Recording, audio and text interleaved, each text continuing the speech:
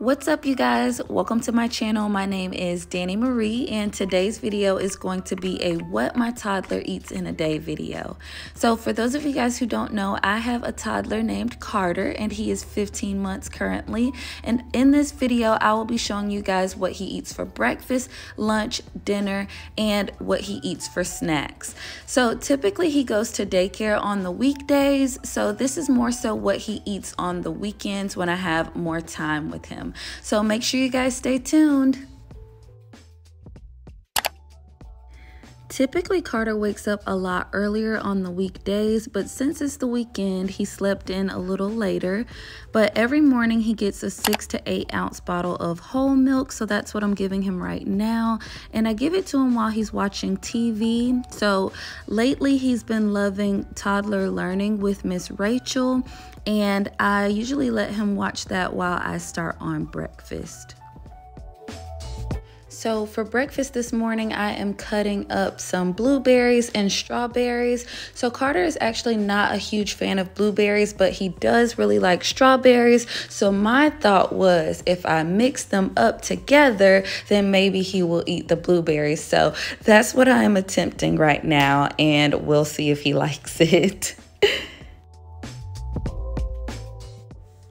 So these are some leftover egg breakfast muffins, which are so good. We actually made these yesterday, but Derek saw these on Instagram or TikTok and he was like, we have to try them. So they are perfect for making these on like the Sunday before the rest of the week. If you want to have breakfast left over for the rest of the week and something quick and easy to go, you can easily make these and store them in the refrigerator. Or if you want to keep them longer, you can put them in the freezer. And I made them with bacon, but you don't have to make them with bacon. You can make them with sausage or none at all. But yeah, they're so easy and perfect, and they only take about 20 minutes in total to make. So this was super easy. And since they're already made, they make today 10 times easier because I can just pop it in the air fryer and get to making the rest of his breakfast. I decided to add overnight oats to his breakfast as well. I like for him to be able to have options, especially since I'm trying something new with the muffin.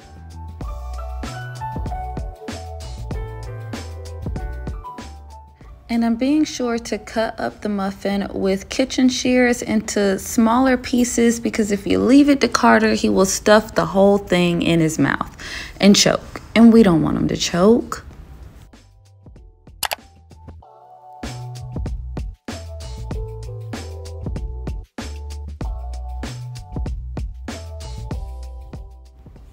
And he didn't finish his bottle of milk, so I'm just adding it to his sippy cup so that he can drink the rest of it with his meal.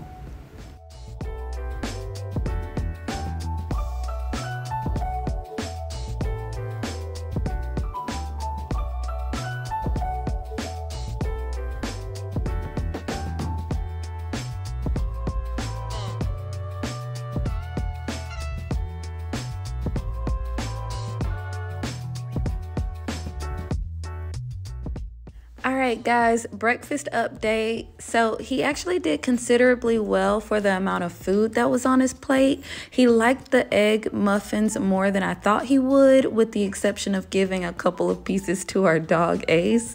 But other than that, um, he actually did pretty well. Now, with the overnight oats, I think they were a little too chunky for him. He likes them a little bit more loose. And he actually did pretty good with the blueberries. So, it was a good idea to mix it with something that he likes. So I'm happy about that. All right, guys, so I am packing Carter's snack because we are about to head to the park. So, when it comes to snacks, I like to make sure I have snacks that are easy to take on the go because Carter is an on the go boy. He likes to run around and do all the boy things that he likes to do. But I love taking these Stonyfield Yo Baby yogurts because Carter loves yogurt and they already come in the pouch. And even if he doesn't finish it, I could save it because it has that screw on top that I can put put back on and store in the refrigerator if he doesn't finish it. And he also loves these organic chickpea puffs. They're vegan, they're plant based, they're organic, they are gluten free, all that good stuff. Plus, they are a great substitute for cheese puffs because they actually taste good. We always have to have these stocked in our house. Carter loves these.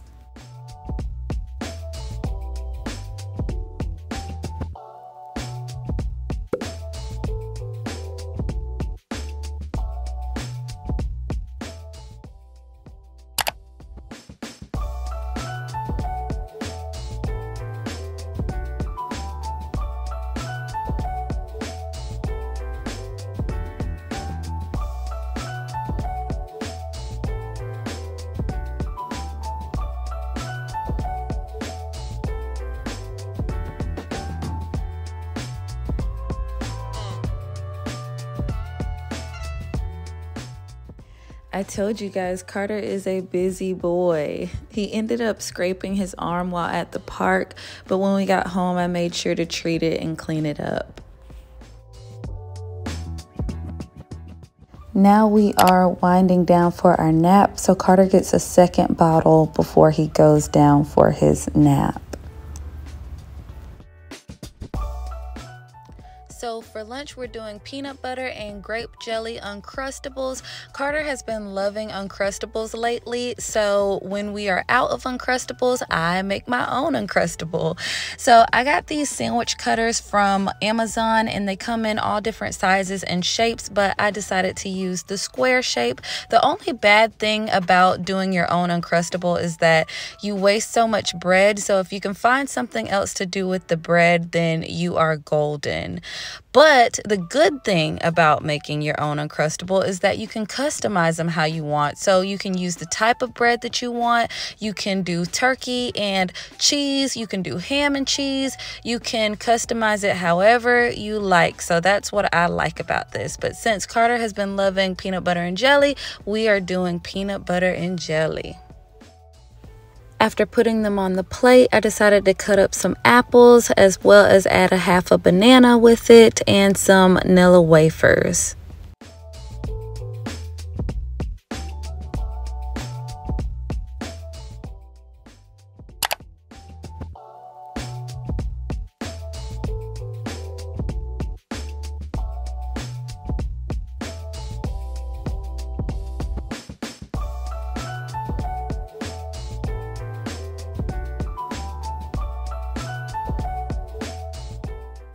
After a while of being in the high chair, Carter started to get a little fussy, and this is how he really gets. So, I wanted to show you guys this. I don't know if your guys' toddlers do the same thing, but I've even seen him try to stand up in the high chair and get out of it. So, I try to kind of hover around the high chair and make sure he's okay and not trying to get out of it because I'm terrified of him falling out of it.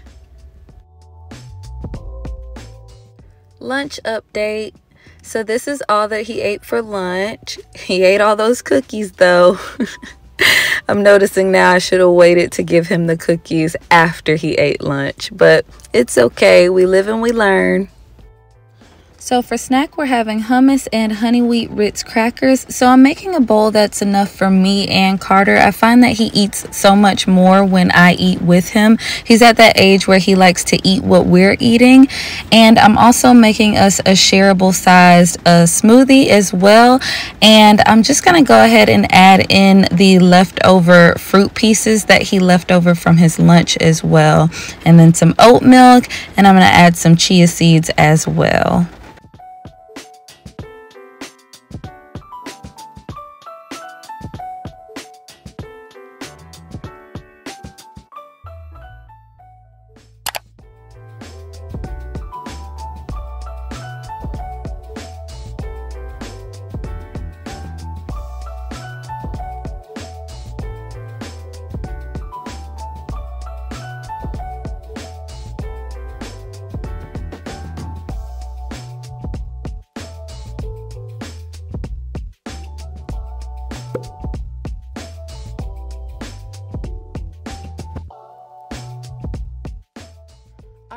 Guys, so it is time for dinner. So I'm making Carter some salmon pesto bites, and I got this salmon from Walmart, and it already came with the pesto butter that I'm putting on the salmon right now. But I also added some more pesto that we had from our fridge, and then I cut up a potato to make some potato wedges, and then we had frozen broccoli in our freezer, so I put some broccoli there as well. Added some olive oil, a little bit of seasoning, and voila.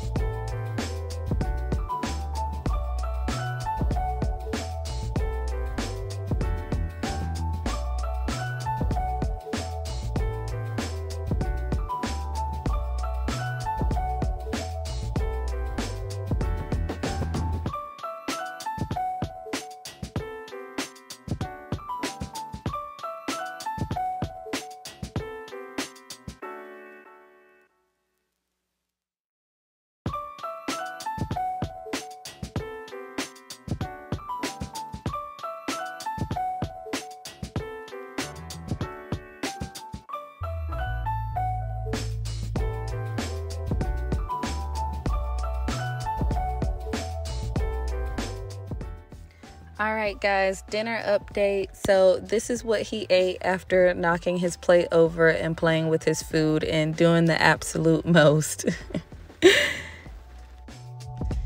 and that is his last bottle of the night. All right, guys, that is it for my What My Toddler Eats in a Day video. If you guys like videos like this, go ahead and hit the subscribe button. And until next time, guys, bye.